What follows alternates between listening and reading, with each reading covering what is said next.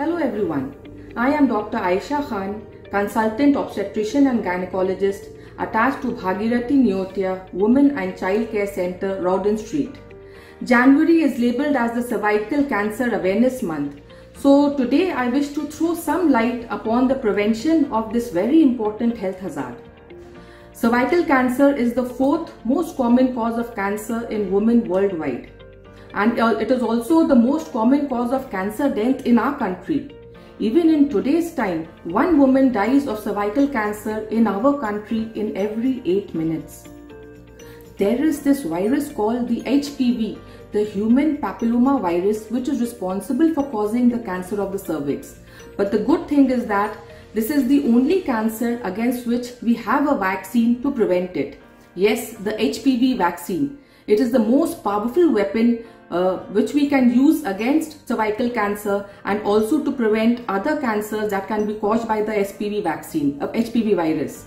It is a very efficient vaccine and offers protection up to 99%, especially when given to young sexually naive girls and women. So the best age to get vaccinated is somewhere between 9 years of age till 14 years of age. Two doses are recommended which have to be given 6 to 12 months apart. However, this vaccine can be offered up till the age of 45 years. Those women who take this vaccine after their 15th birthday need to take 3 shots of the vaccine instead of 2 shots. There is no booster for this vaccine. At present, there are three HPV vaccines available in the market. The bivalent Cervarix, the quadrivalent Gardasil and the monovalent Gardasil 9. In a promising advance in its fight against cervical cancer, now India has recently come up with its very own HPV vaccine which was launched in September 2023. Very soon we will be getting this vaccine in our market at a very very reasonable rate. In current times, undoubtedly, good health is the best wealth.